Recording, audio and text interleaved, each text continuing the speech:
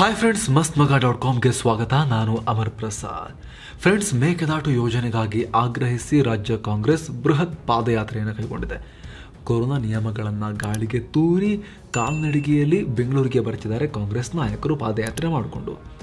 ಈಗಿನ ಪಾದಯಾತ್ರೆಯನ್ನು ನೋಡ್ತಾ ಇದ್ರೆ ಎರಡು ಸಾವಿರದ ಹತ್ತರಲ್ಲಿ ಇದೇ ಕಾಂಗ್ರೆಸ್ ಪಕ್ಷ ಬೆಂಗಳೂರಿನಿಂದ ಬಳ್ಳಾರಿಗೆ ಕೈಗೊಂಡಿದ್ದ ಪಾದಯಾತ್ರೆಯನ್ನು ನೆನಪಿಸುವಂತಿದೆ ಅದು ಅಂತಿಂತ ಪಾದಯಾತ್ರೆ ಅಲ್ಲ. ಹದಿನಾರು ದಿನಗಳ ಬೃಹತ್ ಪಾದಯಾತ್ರೆ. ಹಾಗಿದ್ರೆ ಬಳ್ಳಾರಿ ಪಾದಯಾತ್ರೆ ಹೇಗಿತ್ತು? ಯಾಕಾಗಿ ನಡೀತು? ಮುಂದೆ ಅದರ ಪರಿಣಾಮ ಏನಾಯಿತು? ಬಳ್ಳಾರಿ ಪಾದಯಾತ್ರೆಗೂ ಈಗಿನ ಮೇಕೆದಾಟು ಪಾದಯಾತ್ರೆಗೂ ಸಿಮಿಲಾರಿಟಿ ಇದೆಯಾ? ಈ ವಿಡಿಯೋದಲ್ಲಿ ಹೇಳ್ತಾ ಹೋಗ್ತೀವಿ ಮಿಸ್ ಮಾಡದೆ ನೋಡಿ. ಫ್ರೆಂಡ್ಸ್ ಅದು ಎರಡು ಸಾವಿರದ ಹತ್ತು. ಕರ್ನಾಟಕದಲ್ಲಿ ಆಗ ಬಿಜೆಪಿ ಸರ್ಕಾರ ಇತ್ತು ಸಿಎಂ ಬಿ ಎಸ್ ಯಡಿಯೂರಪ್ಪ ಆಗಿದ್ರು. ಈ ಟೈಮಲ್ಲಿ ಬಳ್ಳಾರಿ ಒಂಥರ ರಾಜ್ಯದ ಶಕ್ತಿ ಕೇಂದ್ರ ಆಗಿತ್ತು ಪವರ್ ಸೆಂಟರ್ ಆಗಿಬಿಟ್ಟಿತ್ತು. ರಿಪಬ್ಲಿಕ್ ಆಫ್ ಬಳ್ಳಾರಿ ಅಂತ ಕರೆಸ್ಕೊಳ್ಳೋ ಮಟ್ಟಿಗೆ. ಬಳ್ಳಾರಿ ಅಂದರೆ ರೆಡ್ಡಿ ಬ್ರದರ್ಸ್ ರೆಡ್ಡಿ ಬ್ರದರ್ಸ್ ಅಂದರೆ ಬಳ್ಳಾರಿ ಅನ್ನೋ ಥರ ಇತ್ತು. ಯಡಿಯೂರಪ್ಪ ಸರ್ಕಾರದಲ್ಲಿ ಪ್ರವಾಸೋದ್ಯಮ ಮಂತ್ರಿಯಾಗಿದ್ದ ಜನಾರ್ದನ್ ರೆಡ್ಡಿ ಬಳ್ಳಾರಿ ಜಿಲ್ಲೆಯ ಉಸ್ತುವಾರಿ ಸಚಿವರು ಆಗಿದ್ರು. ಇಂತಹ ರೆಡ್ಡಿಗೆ ಸಹೋದರರಾದ ಕರುಣಾಕರ ರೆಡ್ಡಿ, ಸೋಮಶೇಖರ್ ರೆಡ್ಡಿ ಹಾಗೂ Sriramulu right hand left hand ಥರ ಇದ್ದರು ಗಣಿದಣಿಗಳು ರಾಜ್ಯ ರಾಜಕೀಯದಲ್ಲಿ ರಾಜರಂತೆ ಮೆರಿತಾ ಇದ್ದ ಕಾಲ ಅದು. ಎಲ್ಲ ಕಡೆ ಹೆಲಿಕಾಪ್ಟರ್ಗಳು ಹಾರಾಡ್ತಾ ಇದ್ವು.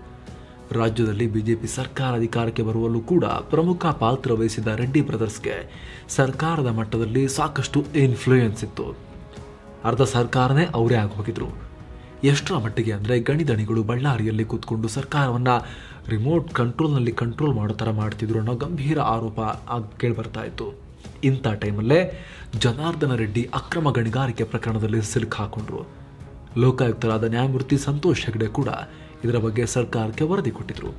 ಹೀಗಾಗಿ ಪ್ರಕರಣದ ಬಗ್ಗೆ ಸಿಬಿಐ ತನಿಖೆ ನಡೆಸಬೇಕು ಅಂತ ಕಾಂಗ್ರೆಸ್ ಬಿಗಿಪಟ್ಟು ಹಿಡಿತು. ವಿಧಾನಸಭೆಯಲ್ಲಿ ಜೋರಾಗಿ ಚರ್ಚೆ ನಡೀತಿದ್ದಾಗ ಜನಾರ್ದನ ರೆಡ್ಡಿ ಕಾಂಗ್ರೆಸ್ಗೆ ಒಂದು ಚಾಲೆಂಜ್ ಮಾಡಿಬಿಟ್ರು. ನಿಮಗೆ ತಾಕತ್ತಿದ್ರೆ ಬಳ್ಳಾರಿಗೆ ಬನ್ನಿ ನೋಡ್ಕೋತೀವಿ ಅಂತ ಹೇಳಿದ್ರು. ಇದರಿಂದ ಕೆರಳಿದ ವಿಪಕ್ಷ ನಾಯಕ ಸಿದ್ದರಾಮಯ್ಯ ರೆಡ್ಡಿ ಮಾಡಿದ ಚಾಲೆಂಜ್ಗೆ ತಮ್ಮ ತೋಳನ್ನ ತಟ್ಟಿ ಚಾಲೆಂಜ್ ಅಕ್ಸೆಪ್ಟೆಡ್ ಅಂತ ಹೇಳಿದ್ರು. ಬಳ್ಳಾರಿಗೆ ಪಾದಯಾತ್ರೆ ನಡೆಸೋಕೆ ನಿರ್ಧಾರ ಮಾಡಿದ್ರು. ಬಳ್ಳಾರಿಗೆ ಬನ್ನಿ ನೋಡ್ಕೋತೀವಿ ಅಂತೀರಾ? ಪಾದಯಾತ್ರೆ ಮೂಲಕ ಅಲ್ಲಿ ಬರ್ತೀವಿ, ಏನು ಮಾಡ್ತೀರಾ ನೋಡೋಣ ಅಂತ ಹೇಳಿ ಸಿದ್ದರಾಮಯ್ಯ ಹೊರಟರು. ಎರಡು ಸಾವಿರದ ಹತ್ತರ ಜುಲೈ ಇಪ್ಪತ್ತೈದನೇ ತಾರೀಕು ಬೆಂಗಳೂರಿನ ಫ್ರೀಡಂ ಪಾರ್ಕ್ನಿಂದ ಬಳ್ಳಾರಿ ಕಡೆಗೆ ಪಾದಯಾತ್ರೆ ಶುರುವಾಯಿತು. ನಾಡ ರಕ್ಷಣಾ ನಡಿಗೆ ಅನ್ನೋ ಹೆಸರಿನಲ್ಲಿ ಬರೋಬ್ಬರಿ ಮುನ್ನೂರ ಹತ್ತು ಕಿಲೋಮೀಟರ್ ದೂರದ ಪಾದಯಾತ್ರೆ ಇದಾಗಿತ್ತು. ಈಗಿನ ಮೇಕೆದಾಟು ಪಾದಯಾತ್ರೆ ಸುಮಾರು ನೂರ ಅರವತ್ತು ಕಿಲೋಮೀಟರ್. ಆದರೆ ಎರಡು ಸಾವಿರದ ಹತ್ತರದ್ದು ಈಗಿನಕ್ಕಿಂತ ಡಬಲ್ ಆಲ್ಮೋಸ್ಟ್. ವಿಪಕ್ಷ ನಾಯಕ ಸಿದ್ದರಾಮಯ್ಯ ನೇತೃತ್ವದಲ್ಲಿ ನಡೆದಂಥ ಬಳ್ಳಾರಿ ಪಾದಯಾತ್ರೆಗೆ ಕಾಂಗ್ರೆಸ್ ನಾಯಕರು ಮಾತ್ರವಲ್ಲದೆ ಕೆಲ ಸಾಹಿತಿಗಳು, ಸಾಮಾಜಿಕ ಹೋರಾಟಗಾರರು, ಕೆಲ ಕಲಾವಿದರು ಸಾಥ್ ಕೊಟ್ಟರು ಇದರಿಂದ ಪಾದಯಾತ್ರೆ ಬಹುತೇಕ ಯಶಸ್ವಿಯಾಯಿತು. ಸಿದ್ದರಾಮಯ್ಯ ಸೇರಿದಂತೆ ಕೆಲವರಿಗೆ ಕಾಲು ಊದ್ಕೊಂಡು ಸಮಸ್ಯೆ ಆದರೂ ಕೂಡ ಪಾದಯಾತ್ರೆ ನಿಲ್ಲಿಲ್ಲ. ಜುಲೈ ಇಪ್ಪತ್ತೈದನೇ ತಾರೀಕಿಗೆ ಶುರುವಾದ ಪಾದಯಾತ್ರೆ ಆಗಸ್ಟ್ ಒಂಬತ್ತನೇ ತಾರೀಕು ಬಿ ಜೆ ಪಿ ಭದ್ರಕೋಟೆಯಾಗಿದ್ದ ಬಳ್ಳಾರಿ ತಲುಪಿತು. ಹದಿನಾರು ದಿನಗಳ ಪಾದಯಾತ್ರೆ ಇದಾಗಿತ್ತು. ಆಗಸ್ಟ್ ಒಂಬತ್ತನೇ ತಾರೀಕು ಬಳ್ಳಾರಿ ಜಿಲ್ಲಾ ಕ್ರೀಡಾಂಗಣದಲ್ಲಿ ಬೃಹತ್ ಕಾರ್ಯಕ್ರಮ ನಡೆಸಲಾಯಿತು. ರಾಜ್ಯ ನಾಯಕರು ಮಾತ್ರವಲ್ಲದೆ ರಾಷ್ಟ್ರ ನಾಯಕರು ಕೂಡ ಭಾಗವಹಿಸಿ ಕರ್ನಾಟಕದ ಯಡಿಯೂರಪ್ಪ ನೇತೃತ್ವದ ಬಿಜೆಪಿ ಸರ್ಕಾರದ ವಿರುದ್ಧ ತೀವ್ರ ವಾಗ್ದಾಳಿ ಮಾಡಿದ್ರು. ಅಕ್ರಮ ಗಣಿಗಾರಿಕೆ ವಿರುದ್ಧ ಬಿಜೆಪಿ ಸರ್ಕಾರ ಯಾವುದೇ ಕ್ರಮ ಕೈಗೊಳ್ತಿಲ್ಲ ಅಂತ ಟೀಕೆ ಮಾಡಲಾಯಿತು ಆ ಸಭೆಯಲ್ಲಿ. ಗುಲಾಂ ನಬಿ ಆಜಾದ್, ಆಸ್ಕರ್ ಫರ್ನಾಂಡಿಸ್, ವೀರಪ್ಪ ಮೊಯ್ಲಿ, ಸಿದ್ದರಾಮಯ್ಯ, ಮಾಜಿ CM Dharam Singh, D K Shivakumar, R V Deshpande ಹೀಗೆ ಪ್ರತಿಯೊಬ್ಬರು ಭಾಗವಹಿಸಿ ಮಾತನಾಡಿದ್ರು. ಸುಮಾರು ಎರಡು ಲಕ್ಷಕ್ಕೂ ಅಧಿಕ ಜನ ಆ ಸಮಾವೇಶಕ್ಕೆ ಸೇರಿದರು. ಈ ಪಾದಯಾತ್ರೆ ಬಳಿಕ ದೊಡ್ಡ ಪ್ರಮಾಣದ ಇಂಪ್ಯಾಕ್ಟ್ ಆಯಿತು. ಸಿಎಂ ಯಡಿಯೂರಪ್ಪ ವಿರುದ್ಧವೂ ಭ್ರಷ್ಟಾಚಾರ ಆರೋಪ ಕೇಳುವಂತು. ಎರಡು ಸಾವಿರದ ಹನ್ನೊಂದರ ಆಗಸ್ಟ್ನಲ್ಲಿ ಸಿಎಂ ಸ್ಥಾನಕ್ಕೆ ರಾಜೀನಾಮೆ ಕೊಟ್ಟರು ಡಿ ವಿ ಸದಾನಂದ ಗೌಡರು ಸಿಎಂ ಆದರು. ಅಕ್ರಮ ಗಣಿಗಾರಿಕೆ ದೊಡ್ಡ ಇಶ್ಯೂ ಆಯಿತು ಆನಂತರ ಡಿ ವಿ ಸದಾನಂದ ಗೌಡರ ಕ್ಯಾಬಿನೆಟ್ನಿಂದ ಜನಾರ್ದನ ರೆಡ್ಡಿ, ಕರುಣಾಕರ ರೆಡ್ಡಿ ಮತ್ತು ಶ್ರೀರಾಮುಲುರನ್ನ ಕೈಬಿಡಲಾಯಿತು ಮುಂದಿನ ತಿಂಗಳೇ ಜನಾರ್ದನ ರೆಡ್ಡಿ ಮನೆ ಮೇಲೆ ಸಿಬಿಐ ದಾಳಿ ಮಾಡಿ ರೆಡ್ಡಿಯನ್ನು ಅರೆಸ್ಟ್ ಮಾಡಿತು. ಇದೆಲ್ಲದರ ಪರಿಣಾಮ ಎರಡು ಸಾವಿರದ ಹದಿಮೂರರ ವಿಧಾನಸಭಾ ಚುನಾವಣೆಯಲ್ಲಿ ಬಿಜೆಪಿ ಹೀನಾಯ ಸೋಲು ಕಾಣಿತು. ರೆಡ್ಡಿ ಕೋಟೆ ಛಿದ್ರ ಆಗಿತ್ತು. ಕಾಂಗ್ರೆಸ್ ಅಧಿಕಾರಕ್ಕೆ ಬಂದು ಪಾದಯಾತ್ರೆ ಮೂಲಕ ಬಳ್ಳಾರಿಯ ಗಣರೆಡ್ಡಿಗಳ ಕೋಟೆಗೆ ನುಗ್ಗಿದ್ದ ಸಿದ್ದರಾಮಯ್ಯ ರಾಜ್ಯದ ಮುಖ್ಯಮಂತ್ರಿ ಆದರು. ಅಲ್ಲಿಗೆ ಅಕ್ರಮ ಗಣಿಗಾರಿಕೆ ವಿರುದ್ಧ, ರೆಡ್ಡಿ ಬ್ರದರ್ಸ್ ವಿರುದ್ಧ, ಅದರಲ್ಲೂ ವಿಶೇಷವಾಗಿ ಗಾಲಿ ಜನಾರ್ದನ ರೆಡ್ಡಿ ವಿರುದ್ಧ ಸಿದ್ದರಾಮಯ್ಯ ನೇತೃತ್ವದಲ್ಲಿ ಕಾಂಗ್ರೆಸ್ ಕೈಗೊಂಡಿದ್ದ ಬಳ್ಳಾರಿ ಪಾದಯಾತ್ರೆಗೆ ಆ ಮೂಲಕ ಯಶಸ್ಸು ಸಿಕ್ಕಂತಾಗಿತ್ತು. ಇದೀಗ ಎರಡು ಸಾವಿರದ ಹತ್ತರ ರೀತಿಯಲ್ಲೇ ಮೇಕೆದಾಟು ಯೋಜನೆಗೆ ಆಗ್ರಹಿಸಿ ರಾಮನಗರದಿಂದ ಬೆಂಗಳೂರಿಗೆ ಕಾಂಗ್ರೆಸ್ ಪಾದಯಾತ್ರೆ ಕೈಗೊಂಡಿದೆ. ಬೆಂಗಳೂರು ನಗರಕ್ಕೆ ಕುಡಿಯೋ ನೀರನ್ನು ಕುಡಿಸೋಕೆ ನಾವು ಪಾದಯಾತ್ರೆ ಮಾಡ್ತಿದ್ದೀವಿ ಅಂತ ಕಾಂಗ್ರೆಸ್ ಹೇಳ್ತಾ ಇದೆ. ಆದರೆ ಇದರ ಹಿಂದೆ ರಾಜಕೀಯ ಲಾಭದ ಉದ್ದೇಶ ಇಟ್ಕೊಂಡು ಕಾಂಗ್ರೆಸ್ ಈ ರೀತಿ ಮಾಡ್ತಾ ಇದೆ. ಕಾರಣ ಮುಂದಿನ ವರ್ಷವೇ ಕರ್ನಾಟಕದಲ್ಲಿ ವಿಧಾನಸಭಾ ಚುನಾವಣೆ ಇದೆ. ಅದನ್ನು ಗಮನದಲ್ಲಿಟ್ಟುಕೊಂಡು ಕಾಂಗ್ರೆಸ್ ಈ ಯಾತ್ರೆ ನಾಟಕ ಮಾಡ್ತಿದೆ ಅನ್ನೋದು ಬಿಜೆಪಿ ಆರೋಪ.